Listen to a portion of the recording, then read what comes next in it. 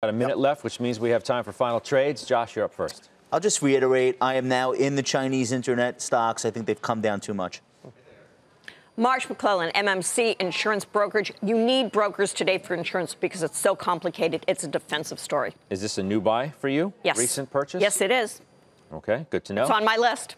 Okay, that's great. Thank you. Doc?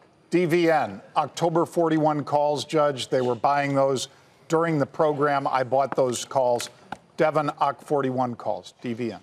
Pete Najarian. We were talking about the 13 filings that we've seen recently. 13 Fs, Fs, yeah, Sorry about that. Yeah, and Okay. Tepper, I, I always pay attention to really two. Tepper and Buffett. What did Buffett do? He added 5% more to his Apple, more to his Apple position. Wishes he could own the entire company like we talked about with Tesla.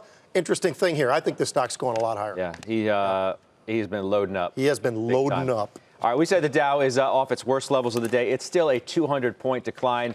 That does it for us.